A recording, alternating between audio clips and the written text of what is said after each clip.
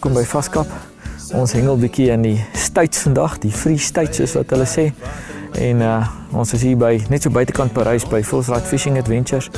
Nou hierdie is een van my gunsteling plekke in die Vaalrivier. Nie een nie, dalk my gunsteling plek in die Vaalrivier. En een van die groot redes hoekom ek van Fullside hou, is omdat ek nommer 1 op my gunsteling kamp tot onder op die water kan ry. En ek hoef nie my goed af te dra nie. So moenie net kom nie, dis my plek hier. En dan die tweede rede is hier is ongelooflike mooi vis en dit is redelik maklik om hulle te vang. Dis nie 'n plek waar jy jou arms hoef af te gooi nie. Jy hoef nie ver te gooi nie. Enige iemand kan die vis vang. Jy kan die visse van 10 meter af vang tot op tot op die ander kant van die rivier. En die ander kant van die rivier is maar so 110 meter breed. Hier's lekker karpe, hier's lekker geelvis, hier's verskriklike mooi marries, die grootste marries wat ek nog ooit in die Vaalrivier gevang het, het ek hier gevang. En dan sien natuurlik monsterbabers. Hier is bass ook. Ek het nog nie vir hulle regtig gehengel hierso nie. Maar die rede hoekom ek hier is, ons gaan lekker pap gooi vandag. Wat ek vandag in die program gaan doen, ons gaan bietjie kyk na die na die rietvleistrop. Ons baie van die nuwe kykers wat nie weet hoekom ons met 'n rietvleistrop werk nie. En ek gaan sommer net bietjie vir julle afbreek en en bietjie daar daarna wys. En dan is ook baie van die nuwe ouens wat vir ons vra Wys ons net hoe sit jou voerbal aan want ons kry nie die pap in die hoek nie. Nou dis nie pap nie, dis 'n voerbal. En ons gaan daarna kyk in die in die program en sommer net dit lekker maak vir julle. Die hengel in die Vaalrivier is oor die algemeen goed reg deur die jaar. Veral um in die winter wanneer baie mense ophou hengel. So moenie jou stokke wegpak nie. Kom hengel lekker saam in die program. Ek wys julle meer van die plek. sien julle nou-nou.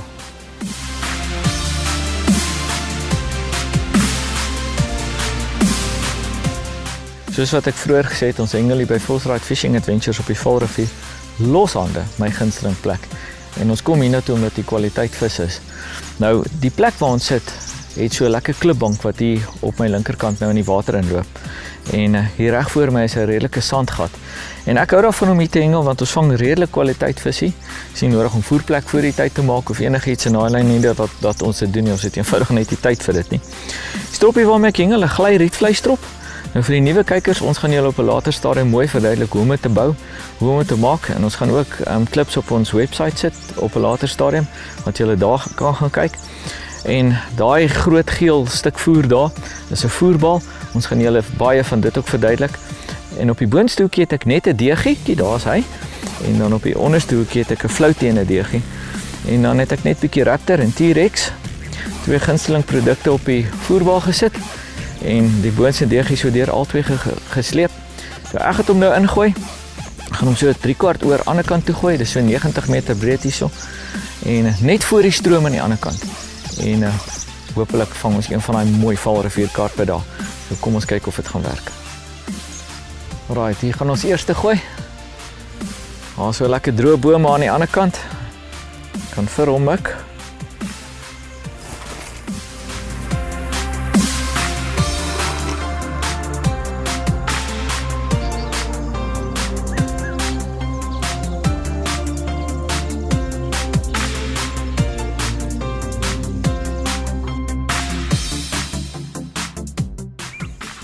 Op my tweede stroppie het ek net twee deegies op vir hoekasies.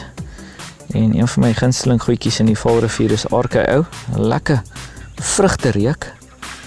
En ek moet vir julle sê, elke keer as ek daai reuk ruik, dan raak ek sommer self honger. En dan 'n bietjie Spitfire wat 'n lekker spicy reuk is, lekker bun spice. So 'n bietjie rooierig van kleur, maar wanneer hy in die water kom, maak hy groen. Nou julle sal sien ek gooi daai twee sommer so lekker bo oor mekaar.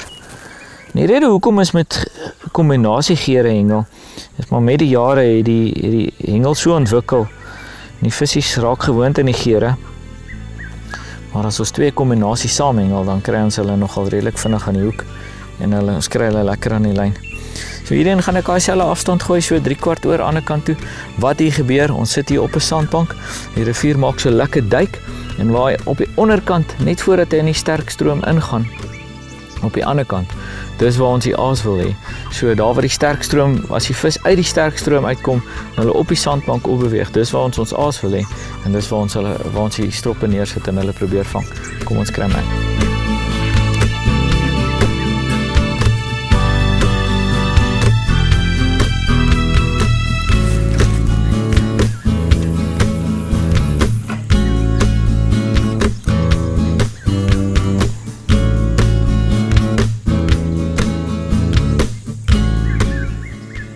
Ek het hierdie stok nou ingegooi en gou-gou vir die nuwe kykers verduidelik hoe sit ons 'n polisieman aan. Uh, in plaas om vorentoe te loop, wat ons doen, ons maak die bylaam oop, bring die stok heeltemal terug, dan vang ek die lyn hierso en dan sit ek my polisieman hier by my aan. En ehm um, dan nou ek gooi ek hom net in die water. Gooi my voor in die water en ek kontroleer hom net vorentoe. Hy gly van self vorentoe en daar waar hy, ek wil hy moet stop. Sit ek net die stok neer Ek maak hom stadig styf. Nou hoef nie elke keer vorentoe en agtertoe te loop om jou voete en jou voete nat maak nie. Maar daar sê, ons twee stokke is in. Kom ons kyk hoe lank vat dit voordat hulle byt.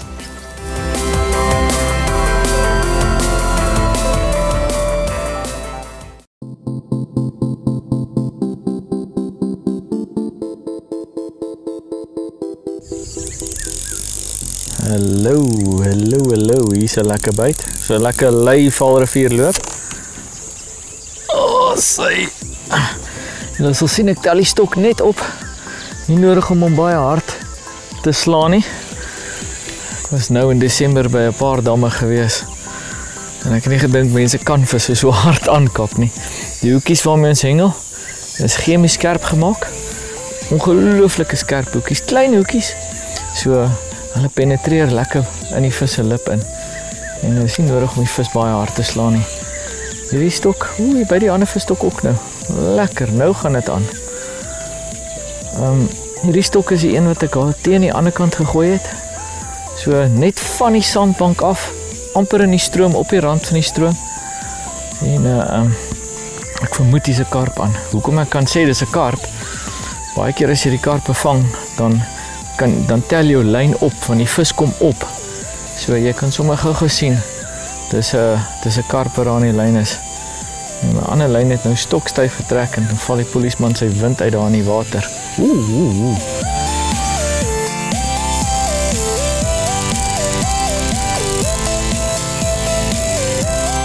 Die valriviervis is ongelooflik sterk.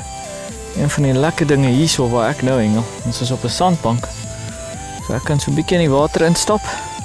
amper soos by 'n dam. En die skeppery is redelik maklik hierso. Ons hy. Ons ons eerste visie.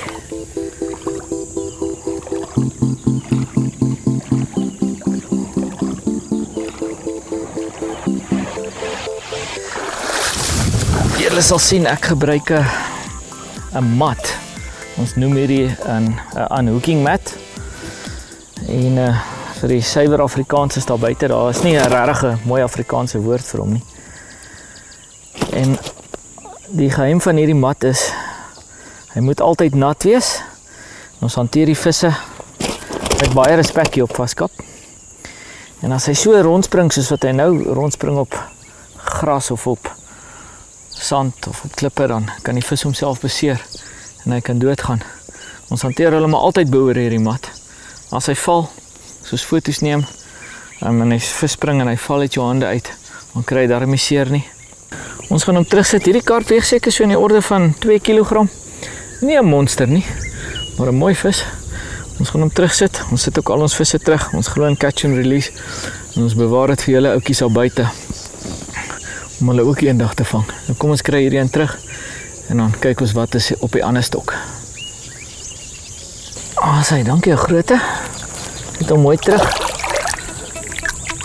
Sal hom kom vang as hy 10 kg weeg. Kom ons kyk of hierdie ander vis nog aan is. Hulle het saam geloop. Ja, hy's nog aan. Kom ons hoop hy bly aan. Sjoe. Rukkie gevat vir die eerste vis om aan die hoek te kom. En daar buite hulle om albei gelyk. Tradisioneel hengel ons teen daai stroom aan die ander kant. Ek dink die water is bietjie hoog in die rivier op hierdie stadium. Hier op die regterkant is daar gewoonlik sulke klippe wat uitsteek. En hulle is toe onder die water. So ek skat die water is so 'n halwe meter bo sy normale vlak. En dit maak daai stroom aan die ander kant dalk so rapsie sterk. Ehm um, gaan dalk so 'n bietjie terugkom. Hierdie het ek nou 'n bietjie vlakker gegooi. Nader na na ons toe. Ehm um, die ander een het baie lank gelê. So ehm um, ek gaan dalk so rapsie nader moet kom. Maar hierdie visie kom nader. Kom ons gaan skep hom ook. Dis maar versigtig met hulle hier onder die stok se punt. Hulle kan baie baie maklik hier loskom. Kom sissie, kom kom kom kom kom.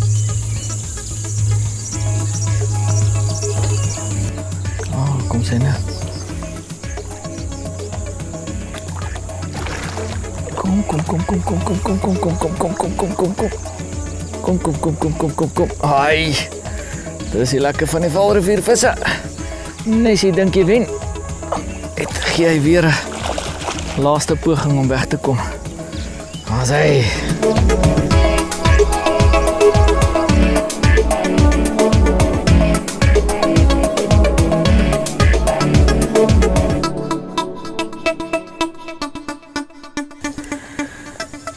Nie die grootste visse nie.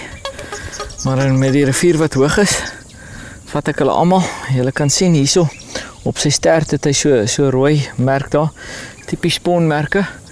Visse spoon hierdie jaar bietjie laat in die rivier met al die reën wat ons gekry het. Dit weet hulle nie regtig watter kant toe nie. En um, hier op sy ander kant van sy lyf het hy ook so rooi kol.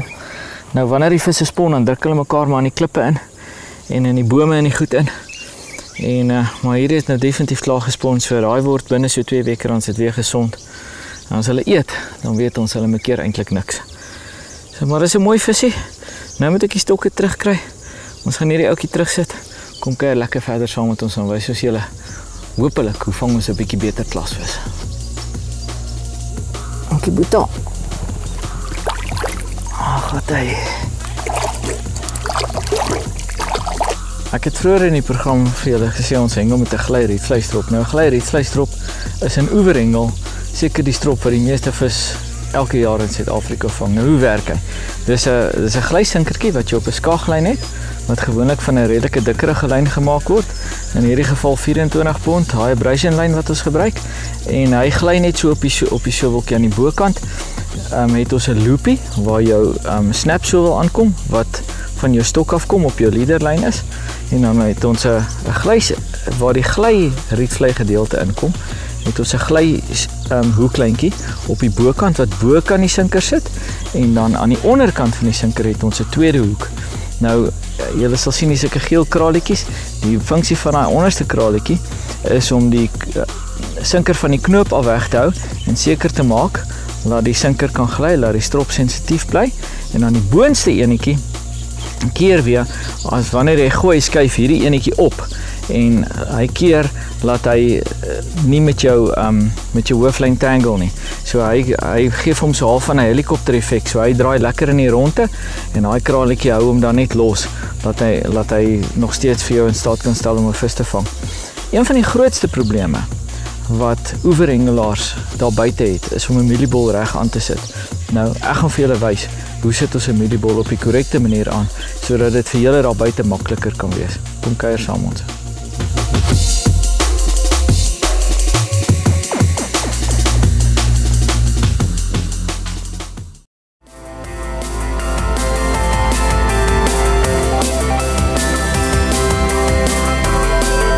Een van die belangrike goed wanneer jy 'n ordentlike voerbal met wil aansit is om wanneer jy jou jou voer vat, dit ordentlik te kompakteer.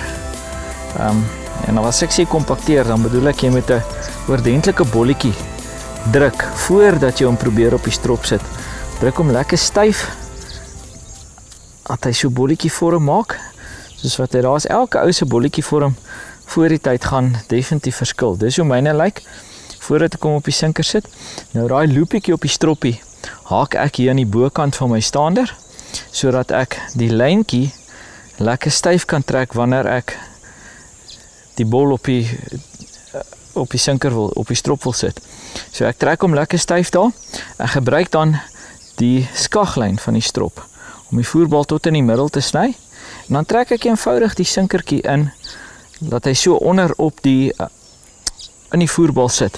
En dan begin ek hom net stadig in die rond te draai en hom op my eie unieke manier probeer ek hom vasdruk. Almal sê maar, hoe druk jy hom vas? Jy moet dit vir jouself uitsorteer. Die geheim hierso is, daai skaglyntjie moet in die middel van jou bol bly. So denkbeeldig moet jy hom center hou, soos wat die Engelsman sal sê. En dan moet jy aan die onderkant van die voerbal moet jy die sinkertjie ook in die middel hou, soos wat hy nou daar is. Nou soos wat ek hom nou daar opgesit het, as jy hom vat en jy wil hom toets, as jy hom so in die rondte draai, dan moet hy nie wobble nie. Hy moet so soos wat hy nou daar draai, hy moet baie galig draai en daai voerbal kan ons nou vat en ons kan hom baie hard gooi en baie ver gooi. Hy gaan nie afval nie. Ehm um, en jy kan met 'n sagte voerbal kan jy so baie lekker hengel.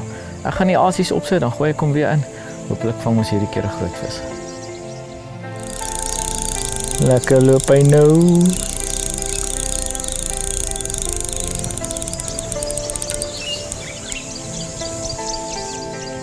Ah, se visie aan. Ons vang nie vandag die grootste visse in die wêreld nie. Maar ons vang vis. En die ons ou kykers sal weet dat as ons 'n vis vang hier op vaskap, dan wys ons julle. Ons kan nie altyd net groot visse vang nie. Ons maak nie voerplek as ons gaan hengel nie. Want ons wil hengel soos wat julle daar buite hengel. En uh partymal vang ons groot vis, ander kere vang ons klein vis. Maar meeste van die tyd vang ons daarom iets. Hierdie visie was om 'n klip gewees, hè. Ons het die lyn slap gemaak. En hy het raggies vir homself losgemaak. Hy kom nou lekker vinnig nader. Ek dink nie hy weet hy sal gehaak nie. Kom ons gaan vorentoe en gaan kyk ons wat is dit.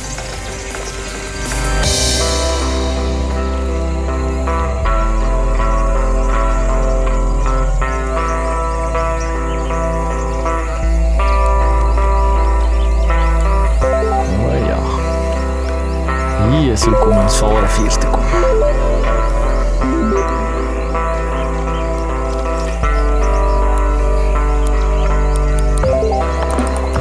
Oh, oh, oh, kyk 'n bietjie.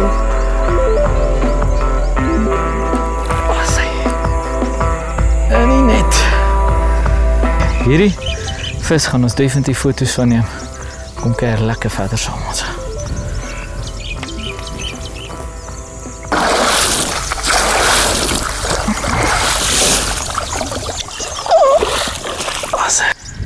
Kyk 'n bietjie daar.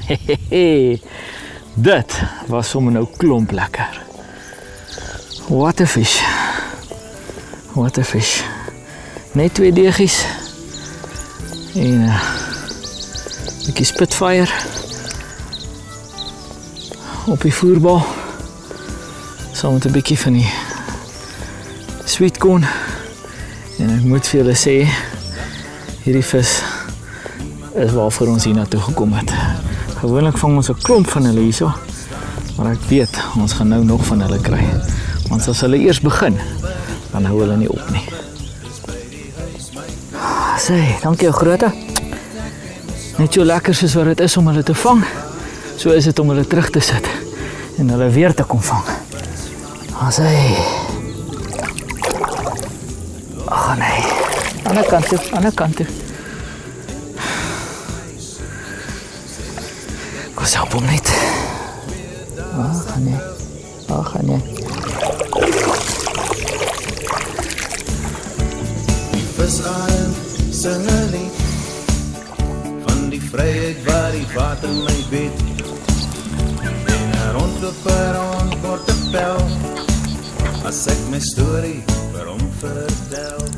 Hy wil hom trek, hy wil hom trek, maar hy kry hom 'n keer lekker getrek hier. Daar gaan hy nou. Kom ons maak hom maar vas massa i det.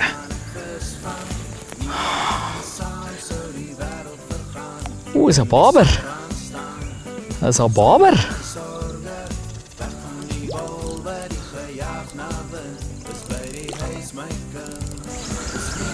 Also, komm, komm, komm, komm, komm, komm. Also. Daar's my babertjie klaar afgehaak. Ek gaan hom sy vryheid gee. Hoop hulle kom vang ons om eendag as hy oor die 20 kg is. Kom ons kry hom terug. Soggens langs die water op die lyne. Hey, hey, hoi. Dag gaan ek visvang alleen. As hy 'n lekker hengeldag hier by Vosraai het tot op sy einde gekom.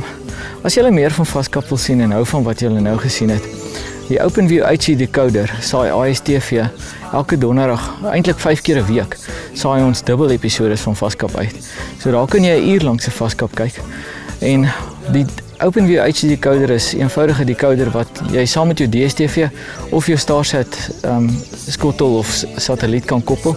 En dit kos jou R499 nou tydelik nog vir so rukkie terwyl die voorraad hou en jy het geen maandelikse paaiemente wat jy betaal nie. Jy in, laat dit installeer en van daar af kan jy het jy 18 ekstra kanale wat jy kan kyk. So daar en dan kan jy 'n uur van van Vaskap kyk. Ons herhaal van ons ou episode daar. Ek moet vir julle sê, dit was 'n uitdaging om tot hier te kom, maar julle het ons tot hier gekry. En hierdie program by ons aan ons ou kykers, ons nuwe kykers en aan die man agter die kamera, dankie Boeta. Maar van nie af wat ons dit nou saam met julle vorentoe. As julle meer wil weet van Vaskap, stuur vir ons dit wat julle wil weet. Stuur vir ons 'n Facebook boodskapie. Sê vir ons wat julle op die program wil sien. Onthou vaskaptv.co.za of die webwerf adres hier onder. Daar kan julle gaan rondkrap. Daar's 'n klomp inligting vir julle beskikbaar. Ons sien julle volgende Sondag, selfde tyd, selfde plek. Totsiens julle. sorge. Weg van die wol by die gejaag na wind. Dis by die huis my kind.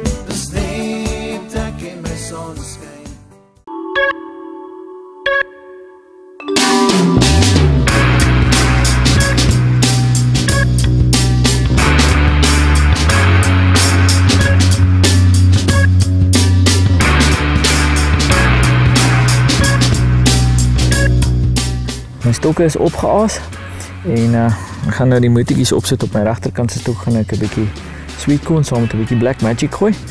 En dit is iets wat reg deur die Val rivierstelsel van Standerton af reg deur tot in Kimberley waar in die Oranje rivier inloop en nog verder werk dit baie baie goed vir my. So kom ek wys julle sit ons dit op. Sweet corn gaan ek opsit en hom lekker plat smeer. Dan sien sommer so 'n bietjie met die vinger ook smeer. As hy in die Black Magic gaan ek op die ander kant net so 'n streepie gooi. Dat hy net so afloop. Kan hom nie smeer nie, hy kan maar net so afloop. En dit is so maklik soos dit en met daai kombinasie sal ek oral se vis vang. Ek het regtig al baie hier by Vosraai gehengel en soos wat ek vroeër gesê het, dis een van my gunsteling gunsteling gunsteling plekke. Nou wat lekker is van hierdie plek, ek weet waar om te hengel. Hier's 'n stroom aan die ander kant. Nou die rivier is so 100 meter breed. Nou as ons op so 85 na 90 meter gooi, so, so op die rand van die stroom en dan val die aas terug in die stilwater in. En die visse is heeltyd in daai stroom want die die kos kom stroom af en as hulle uit die stroom uit gaan om te rus, dan lê daar iets vir hulle om te eet. En die asies wat vir ons regtig goed werk daar. Op die boonste hoekie het ek net 'n soetwedegie en op die onderste hoekie het ek 'n Black Magic floutie met 'n soetwedegie. Nou ek vermoed ons kan dalk 'n paar jong vis optel. Wanneer dit gebeur, dan haal ek die flout af. Ek maak die dips bietjie minder. Ek hou dit daar, maak dit net baie minder en dan vang ons die kwaliteit vis. Maar kom ons sit hom in en kyk ons wat werk vandag. Ek het 'n lekker merk daar aan die oorkant, so gat in die bome. Kom ons sit hom net daar.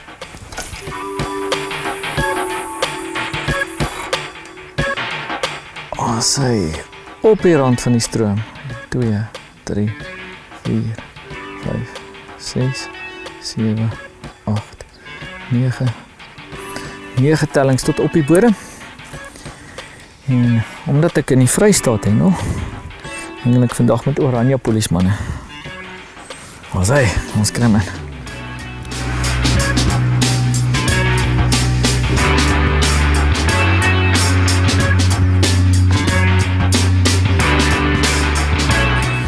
Op my linkerkant se stok het ek net twee deegies vir hoekasies. Nou een is 'n lang deegie en die ander een is 'n lekker kort vet deegie. Die rede hoekom ek twee verskillende tipes deegies opsit is omdat hy ou binne in die stroom hengel. En baie keer het ek al hier opgetel dat ons die groter vis met die langer asie optel. Hulle kry hom net minder. Ehm um, en dan weer as die vis baie sensitief raak, dan is hulle lief vir die kleiner asie. So ek skep my so 'n halfe scenario van die beste van twee wêrelde op een strop. As ek sien hulle tel net die klein deegie op, dan sal ek al twee hoeke die klein deegie eh, opsit. Eh, maar ook andersom, as ek sien hulle tel bly die groot een optel, dan sit ek al twee 'n lekker lang deegie op. Gomtor en 'n bietjie Lodewyk is wat ek op hierdie twee sit, maar daar's 'n spesifieke manier hoe ek dit aanwend. Kom ek wys julle hoe doen ons dit. Die Gomtor, ek het nou daai die klein wit deegie net so bo op die voerbal neergesit. Nou al wat ek gaan doen, ek gaan so die lengte van die deegie net so so maak en dan so streepietjie om net hier laat afloop. Nie te veel nie. Dis 'n verskriklike sterk garlic. En uh as ek kom hengel, hengel kom baie baie lig en dan op die ander kant van die voerbal al wat ek gaan doen, ek gaan die lodewyk vat. Noem so so dubbel streepietjie laat hy net so afloop. Jy kan nou lodewyk smeer as jy wil met jou vinger, maar ek doen dit nie want dan loop ek heeldag met 'n rooi vinger. Ek gooi hom net so in die water. So kom ons kry hierdie ouetjie in en hooplik vang ons een van daai mooi valrivierkarpe. Ek het so lekker geel boom daar op die ander kant. So gat op sy regterkant. Nou dis waarvoor ek mik.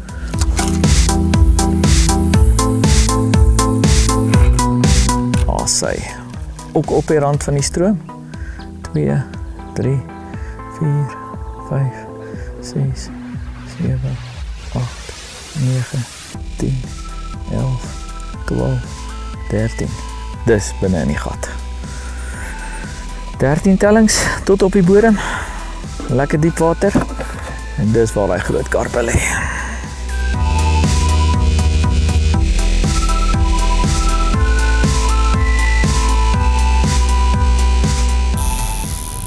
Ooh, dis 'n voor vier vis moet loop. O, oh, sy. Hier het ons nou 'n pakkie vars moeilikheid. Hier is 'n mooi vis. My lyn begin nou so optel. Hy's nou binne in daai stroom in. En wat hulle altyd doen, hulle gaan eers bietjie stroom op en as hy in daai stroom is, dan gaan hulle stroom af en gebruik hulle die stroom om te kyk of hulle nie 'n hakplek kry nie. Baie van julle vra vir ons op Facebook, hoe benader 'n ouer rivier of hoe hengel jy in die rivier? Nou ek dink een van die belangrikste goed wanneer jy in die rivier hengel is om jou gery reg te kry. Nou die Vaalrivier is hierso byvoorbeeld nou net so oor 100 meter breed. En dit is nie nodig om hier op te daag met 15 voet stokke nie. Ek hengel vandag met 11 voet stokkies. Maar wat baie belangrik is, wanneer jy die Vaalrivier hengel, moet dit nie met hom nie met 5 pond lyn probeer nie. Ja, daar's definitief plekke waar jy met 5 pond lyn kan hengel, maar probeer bietjie dikker lyn hengel. Ek hengel nou vandag sommer met 'n lekker 10 pond lyn, punt 25. En uh jy weet nooit wat jy in die Vaalrivier gaan vang nie. Um hierdie vis het nou regtig gebyt soos 'n klein moddervisie. Hy het seker vir 15 minute wat hy net so die polisieman net so gestamp stamp stamp het en ewe skielik haar trek die lyn stadig styf in dit voel of jy regtig 'n mooi vis in die lyn is. Um wat ook baie keer gebeur in die Vaalrivier met die spesifieke stroppies wat ons gebruik. Ek hengel nog steeds met 7 pond hoe kleiner want ek wil dit so sensitief as moontlik hê. Maar jy kan opgaan na 10 pond hoe klein toe. Um en die rede hoekom ek nog steeds met die 7 pond hengel, ek voel as ek 'n vis in die lyn het, ek kry eerder 'n klomp buite en verloor een of twee visse wat dalk my hoe klein gaan breek, maar as jy hom reg bou soos wat ons hom bou, gaan dit nie gebeur nie. En ehm um, die lekker ding is as jy vashak, dan kan jy baie keer met die 10 pond lyn kan jy daai 7 pond hoek kleintjies breek of jy kan die hoekie ooptrek. En dan verloor jy nie jou hele leader met jou hele strop en en alles wat daarmee saamgaan nie. Maar vir elke program wat ons wat ons uitsaai, skryf ek 'n artikel. Gaan maak 'n draai op ons webwerf www.vaskap.net en uh dan lees jy hierdie artikel, dan kan jy al presies sien wat se gery ons gebruik. Ehm um, daar kan ons vir julle in meer detail vertel wat se moties ons gebruik en vir die van julle wat eendag hiernatoe wil kom, daar's 'n link vir die vir die plek ook en uh ehm um, dan kan jy presies sien wat jy gaan nodig hê om vis te vang hierso. Hierdie is regtig 'n mooi vis. Hy beklei soos 'n ou strydperd. Kom ons konsentreer om hom te land.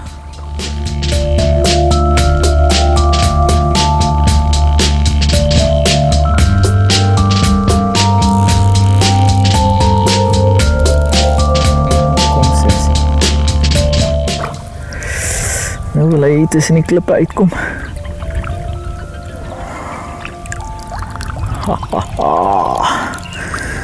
Een belangrike ding wat ek die laaste tyd gesien het, veral met bietjie groter vis. Ouens raak op hulle senuwees en hulle vergeet wat om te doen as hulle 'n groot vis vang. Moenie die skepnet se handvatsel gebruik om hom op te tel nie. Vat hom hier voor. Maar jy hy's baie sterker. Jy gaan jou skepnet breek. Vat hom hier voor, tel hom hier voor op. En dis nog 'n tip vir die Valrivier as jy 'n Valrivier toe gaan of as jy in die winter gaan hengel, want in die winter vang jy groter vis. Sorg dat jy 'n net het wat diep genoeg is om die groter vis te skep en hulle in te hou. Hier is regtig 'n mooi vis. Ek gaan hom maar op die mat neersit.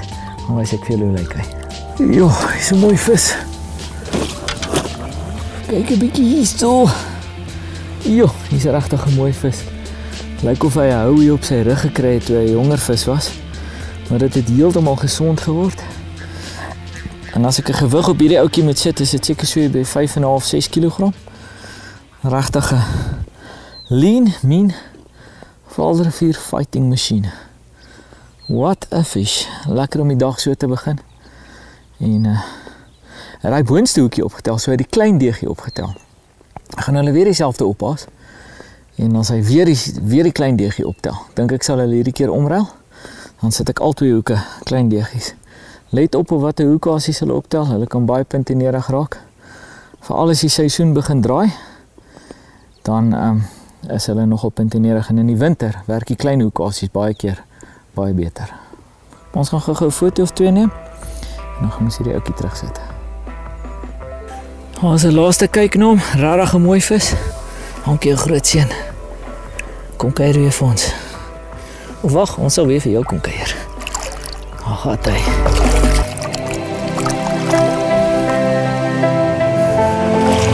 Ek gaan weer my regterkant se stok insit waarmee ek daai mooi groot vis nou gevang het. Noordewyk en Gomtor, twee wit deegies. Terug op dieselfde plek en hooplik vang ons nog so bietjie.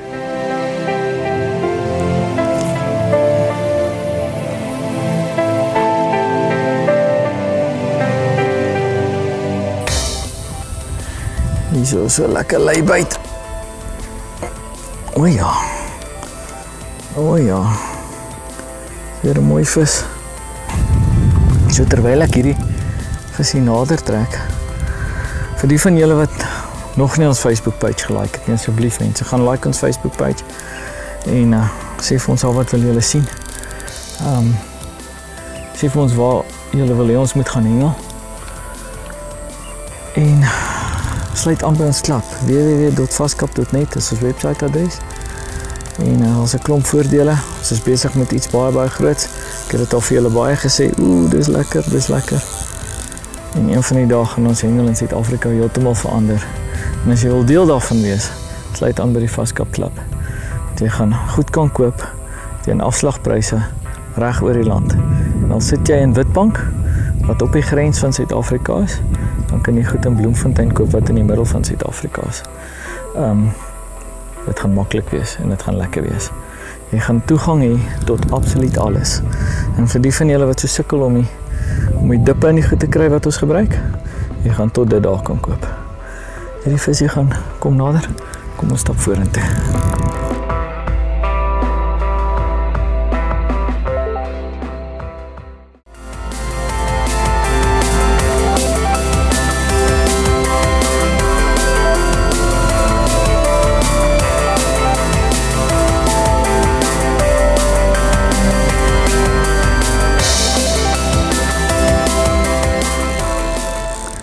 Hierdie valrivierkarpe is baie baie sterk. Hierdie is nie 'n monstervis nie. Dis maar weer soos daai vorige een en maar hy gee vir my oordentlik opdraande. En ehm um, Dis een van die redes hoekom ek so baie van die valriviere kwaliteit visvang. Kom maar naby naby aan die beskawing. Ooh.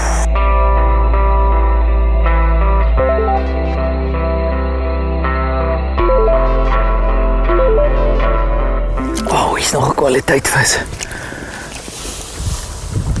Daar's ons vis. Hierdie een is seker so in die orde van 4 4.5 kg.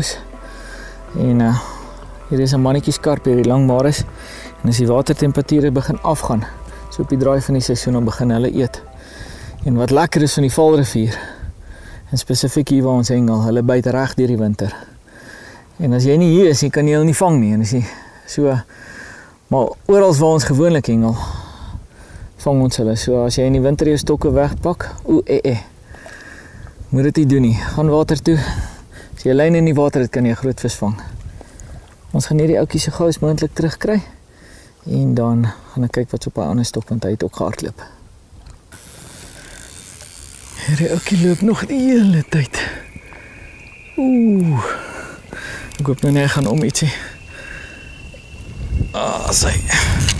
Voel daar hom vir Hy's nou so halfstroom op. En hy's redelike groot klippe. Net hier regs van my is so groot klip. Die rivier is vol sulke groot klippe. En nou net nie om een van hulle gaan nie, maar dit voel daar hom of hy right is.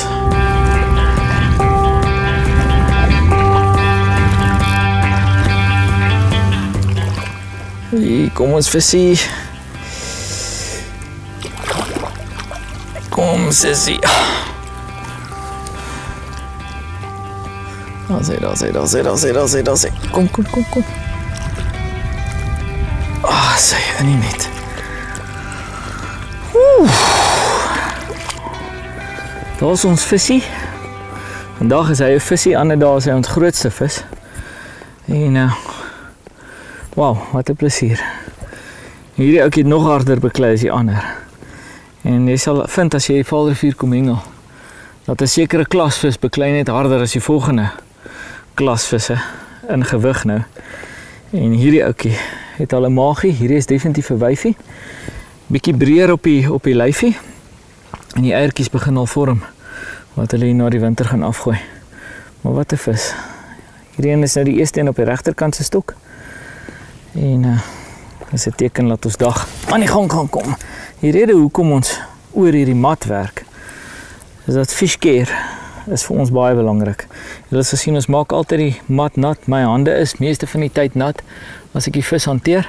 En uh ek wil nie die vis laat val nie, nie selfs op die mat nie. So uh, dis vir ons belangrik om hulle net met 'n gaatjie in die lip terug te sit.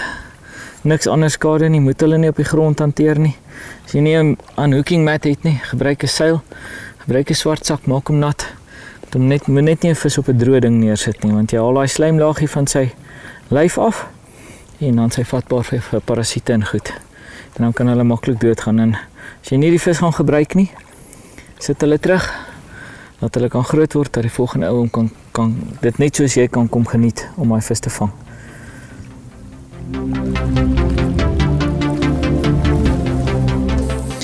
Ek uh, gaan hou my linkerkant se stok nog steeds op die gomtor in die Lodewyk. En dan ek sit daai gomtor so op die deegie. Dis 'n valrivier manier om hom te te hengel en dan so een streepie en dan die Lodewyk sit ons so twee streepies. Want hy so net so afloop en nog so enetjie. Net so maklik soos dit. Ek het nou al twee kwaliteit visse op hierdie kombinasie gevang. Ek gaan hom aanhou gooi tot dit nie meer wil hê nie. En dan weer op dieselfde plekkie sit en hooplik vang ek nog 'n dik een.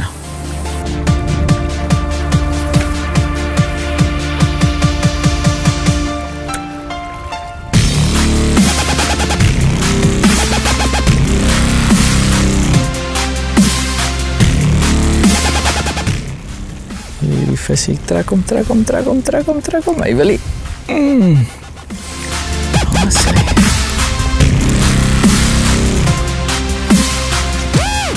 Terwyl ek aan hierdie visie trek.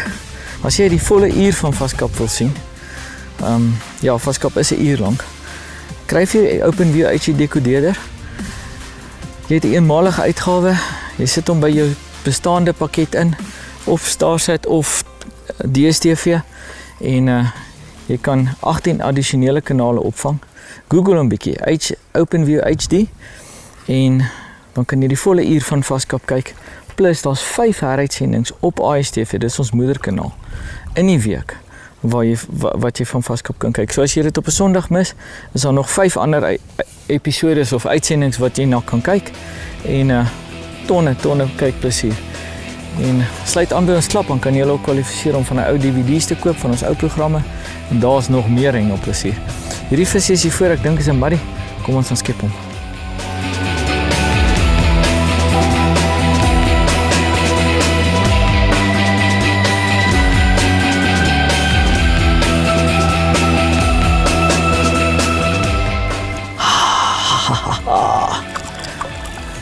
Ja. Hier is 'n spesiale vis. Hierdie oudjies word so 6-7 kg groot. En uh, hulle is vegters in die Vaalrivier. Een van ons inheemse spesies. Baie ouens verwar hulle met 'n graskarp of met 'n moddervis. Hierdie is definitief 'n klein bekgele. En ek gaan hom so gou as moontlik terugkry.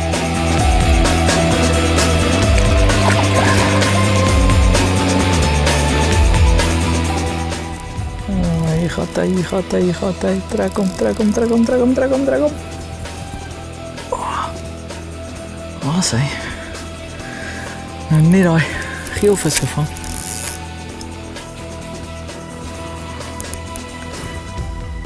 Hy voel nou beter vis. Hulle gebruik daai stroom. En waarvoor jy moet pasop in die rivier is soos wat ek vroeër in die program gesê het, oral is daar groot klippe. Nou 'n goeie ding wat jy kan doen, so as jy by 'n vreemde stuk water aankom, net 'n sinker te vat op jou skoon lyn, net 'n paar goeie te maak om stadig te trek, te voel of jy die klippe stamp. As jy nie klippe stamp nie, dan weet jy dis veilig om daar te hengel. En as jy die klippe stamp, as jy maak 'n mental note en as jy visse in daai rigting beweeg, dan ehm um, probeer jy stok se punt net hoog hou.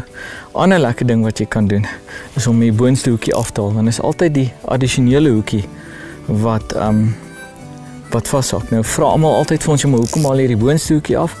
Want ons vang meeste van die vis op die onderste hoek in elk geval. So haal die boonste enetjie af en uh, dan kan jy nie die visse dubbel hak nie en jy kan ook nie sommer vassit nie.